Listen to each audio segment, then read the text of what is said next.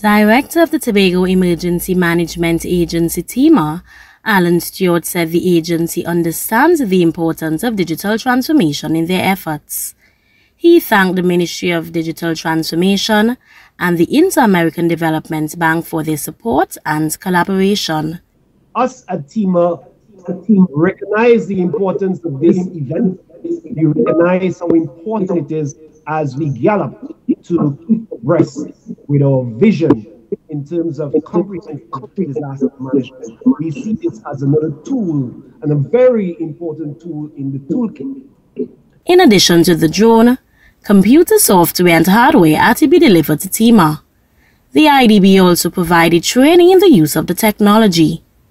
IDB country representative Karina Cockburn said the drone would play an integral role in TEMA meeting its objectives. To allow TEMA to quickly assess damage and speed up emergency assistance in the event of a disaster.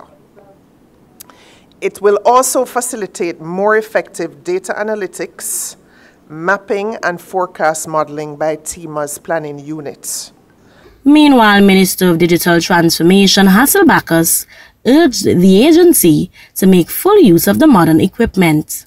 The information that is provided from this, the pictures that you have from it, the, all of the things that you got and is going through all of that hardware and software to turn that into something. When you take your intellect and apply it on top of that, you move that from data to information. And then when you use your processes along with that, you're now able to ably assist and protect the citizens of, of, specifically in this case, of Tobago, but obviously it redounds to the benefit of the people of Trinidad and Tobago. And the Chief Secretary Farley Augustine applauded TEMA for their work as the premier disaster response agency in the region. He noted while it has been donated to TEMA, the drone would be beneficial across the Tobago House of Assembly, including land management, agriculture and other departments.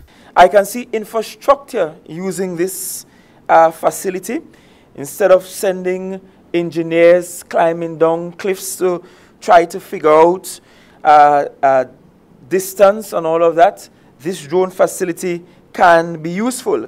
And of course, when these lovely shots are taken outside of natural disaster, I can see tourism hanging on to those shots. Carissa Douglas, 4TT News.